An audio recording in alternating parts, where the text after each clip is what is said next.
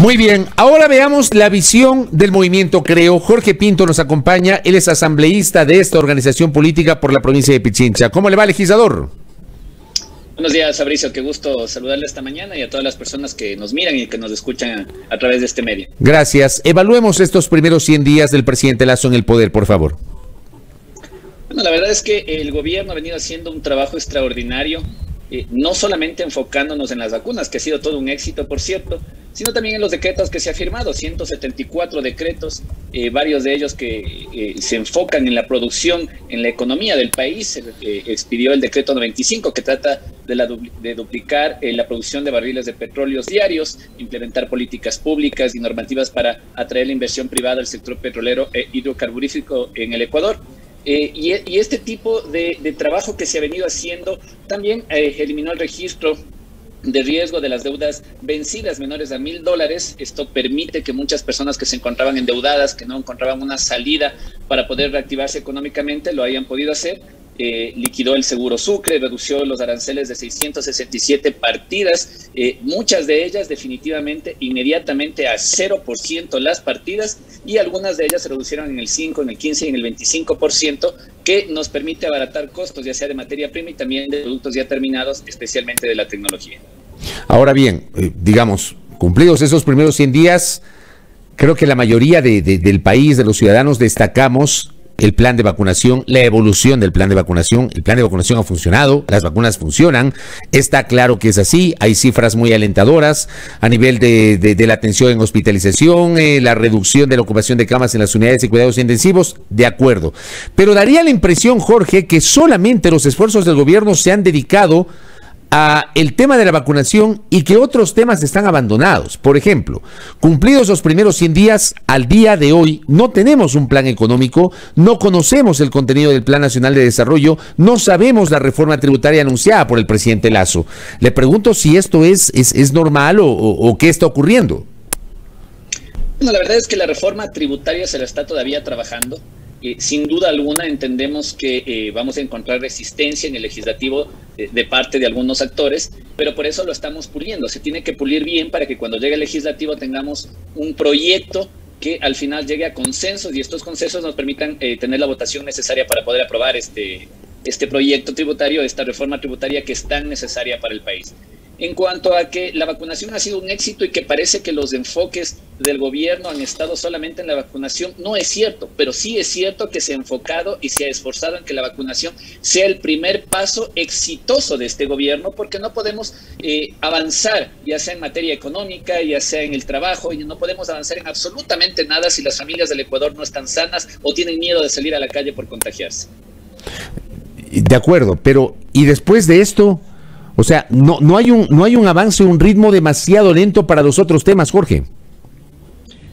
Vamos 100 días, eh, creo que hemos avanzado bastante rápido, no creo que estemos lentos en avanzar en, lo que el país está necesitando. Hoy viene también el proyecto de ley, eh, eh, te escuché hablar hace un momento Fabricio sobre el tema del trabajo, el proyecto de ley de oportunidades laborales, que no es cierto que no se sepa mucho lo que dice. Hay cuestiones como el trabajo por horas para los jóvenes, para los estudiantes que les permitan trabajar y estudiar al mismo tiempo, que se habló. Pero no, no tenemos el articulado todavía, a eso me refiero, ¿no? O sea, tenemos los anuncios del ministro, la explicación, pero no tenemos el articulado, ¿no? El articulado completo, por supuesto, todavía no, no, no lo tiene nadie, ni siquiera lo tenemos nosotros en el legislativo porque se están terminando de pulir, pero de que sabemos a, a dónde vamos, por supuesto, la mayoría de ecuatorianos sabemos que estamos apuntándole a que eh, se inserte la fuerza laboral joven en nuestro país, que tengamos el trabajo por horas para los estudiantes, no solo para los estudiantes, sino para aquellos ecuatorianos que buscan una alternativa diferente de trabajo y que saben que pueden tener dos y tres trabajos y que de alguna manera esto eh, levante un poco el tema económico en nuestro país. Luego de que estén vacunados, luego de que estén inmunizados y que se haya logrado básicamente ya la inmunidad de rebaño después de la vacunación, hoy por hoy podemos decirles, bueno, están listos para salir a las calles y vamos a trabajar y vamos a traer inversión extranjera. Y esta inversión extranjera va a crear plazas de trabajo porque le estamos dando las facilidades y la seguridad jurídica para que los inversores vengan y pongan la plata en nuestro país. Hay algo que me ha llamado la atención en estas horas, lo publicó ayer Diario El Universo, una entrevista con la ministra de Gobierno Alexandra Vela que dice el titular de El Universo, si la Asamblea bloquea los temas importantes, el gobierno considerará seriamente recurrir a los mecanismos de democracia directa. ¿A qué se refiere la ministra de Gobierno o cuál es la intención del gobierno y del movimiento Creo, Jorge Pinto? Tenemos en el legislativo eh, un bloque de creo de 13 asambleístas, pero se conformó una bancada, el BAN, que eh, hoy por hoy vamos por los 26 votos dentro de la bancada.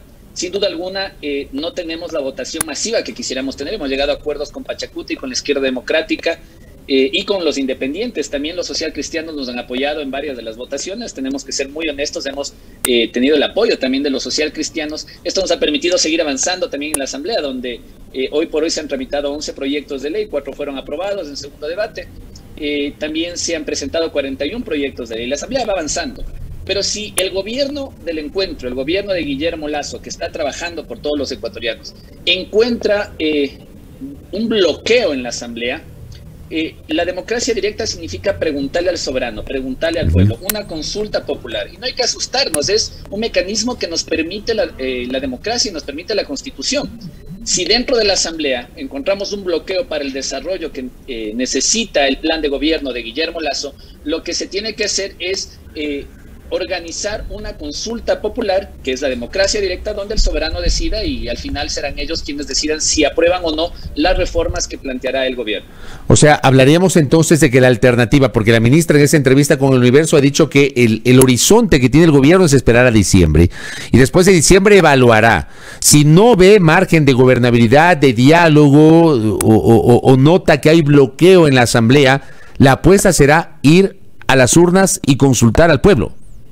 Así es, así es, definitivamente. Por lo menos en los temas trascendentales. Por supuesto, la Asamblea seguirá laborando, trabajando con proyectos de ley presentados eh, por los asambleístas y también por el, eh, Ejecutivo, eh, por la sociedad civil también, pero sin duda alguna, si hay bloqueo en los temas importantes, esto quiere decir en el económico, esto quiere decir en la ley de oportunidades laborales, esto quiere decir también en la ley de, las, de educación que también se ha presentado y en muchas otras leyes que son importantes para avanzar con el plan de gobierno de Guillermo Lazo del presidente presidente, por supuesto, quienes al final tendrán la última palabra será el soberano, que es el pueblo ecuatoriano. Ahí eh, le pregunto, o está en el radar del, del gobierno, el movimiento, creo, que si el bloqueo, porque está claro que, en la Asamblea habrá que conversar, no, no hay ningún bloque legislativo tiene mayoría por sí solo, eh, hay, que, hay que acordar, hay que acercar posiciones para tener el número mágico de 70 votos y poder tomar decisiones. Pero le digo, si esto se traduce en un bloqueo, ¿Se ha pensado, se les ha pasado por la mente la disolución de la Asamblea e ir a la muerte cruzada? No, la verdad no. La ministra lo dijo ayer. Eso sería eh, la última opción por parte del gobierno. Entendemos que utilizar una de las herramientas que dejó instaurado el correísmo y, que por último también entendemos que sería eh, una muerte cruzada, como tú lo acabas de mencionar. El gobierno, el presidente tendría unos cuantos meses hasta que, hasta que se vuelvan a llamar a elecciones para poder gobernar por decreto.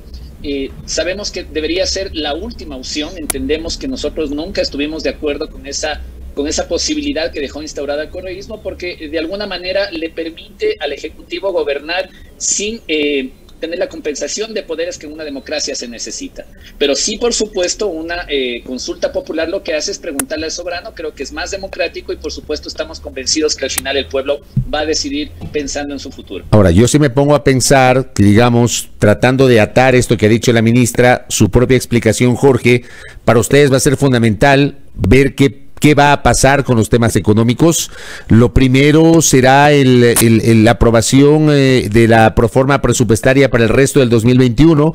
El ministro Simón Cueva me dijo la semana anterior en una entrevista que, le hicimos que en este mes de septiembre presentará al país el contenido de la reforma tributaria que será enviada a la Asamblea Nacional. El ministro de Trabajo también tuvo la gentileza de atenderme en una entrevista el último fin de semana y me ratificó que en este mes se conocería ya el contenido de la ley de generación de oportunidades y luego hasta el 31 de octubre vendrá la proforma presupuestaria para el 2022. O sea, cito estos cuatro escenarios que podrían ser decisivos para lo que se viene. Si estos escenarios no pasan, allí sí el gobierno podría considerar ir a una consulta popular, Jorge. Así es. Bueno, pero no nos olvidemos que primero tenemos que poner el escenario como tú lo has planteado en este momento vamos a tener estas reformas, eh, vamos a tener que recibir por parte del Ejecutivo y del Ministro de Finanzas también el, el, tema presupuestario para el 2022 también. Y por supuesto lo que vamos a hacer nosotros en la Asamblea es conversar con la gente. Vamos a sentarnos con el resto de compañeros legislativos, los bloques de cada eh, tienen un jefe legislativo que están conversando el tiempo, que están tratando de llegar a los acuerdos políticos que son muy necesarios en democracia.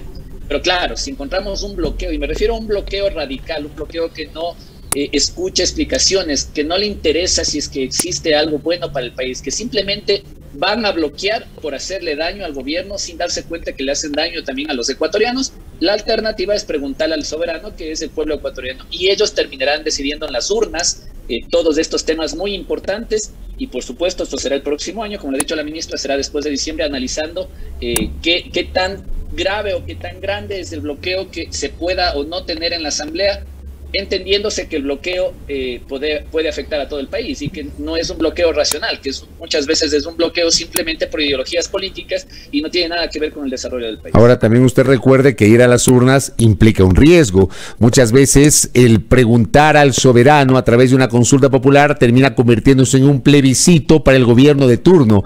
Y digamos, la historia recoge ejemplos, lo que le pasó a Febres Cordero en el año, en el año 86, por ejemplo, lo que le pasó a Durán Ballén en el año 90, en el año 94 y luego en el año 95, por citar, digamos, ejemplos en los cuales esas consultas se convirtieron en plebiscitos sobre la imagen o la aceptación del gobierno de turno. También, también implica un riesgo, Jorge.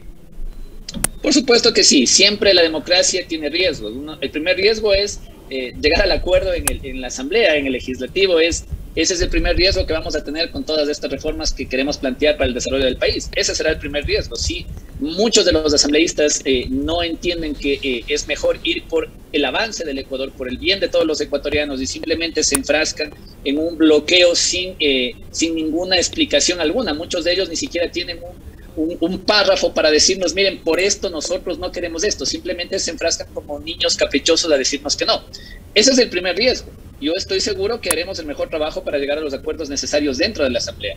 Pero si ese riesgo no pasa, si tenemos, si fracasamos en esos acuerdos internos que tenemos que llegar, viene la otra alternativa que es eh, eh, la votación de una consulta popular. Y por supuesto que también tendremos riesgo ahí, porque el Ecuador tiene que decidir si acepta o no, si aprueba o no estos cambios que son tan necesarios para el avance del país y, claro, ahí tendremos que medir fuerzas políticas. Sin duda alguna, hoy el presidente Guillermo Lazo tiene una aceptación muy buena, no solo por el plan de vacunación, sino por todos estos cambios y por el liderazgo que ha venido teniendo durante estos 100 días, porque no podemos negar que Guillermo Lazo ha tenido un liderazgo enfocado en el avance del país y ha sabido manejar los temas importantes que eh, se han venido dando durante estos 100 días. Ese liderazgo le ha dado a él una excelente aceptación, esperamos mantener esa aceptación, seguir avanzando, seguir creciendo hasta el siguiente año y por supuesto pedirles a los ecuatorianos, eh, don, eh, en el caso de que la Asamblea no se ponga de acuerdo, que sean ellos los que decidan en estos temas trascendentales e importantes y por supuesto también tendremos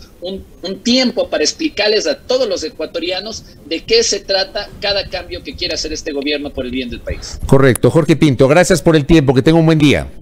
Muchas gracias, Aviso. Un buen día. Muy gentil a Jorge Pinto, asambleísta del movimiento Creo. Ahí tienen ustedes tres visiones. La de Jorge Pinto, de Creo, hablando sobre estos 100 días. Antes Carlos Rabascal y luego Paulina Recalde. Cada quien con su propia visión sobre estos 100 días de Guillermo Lazo en el poder. 8 con 5 en la primera hora por Majestad Radio y Majestad Televisión.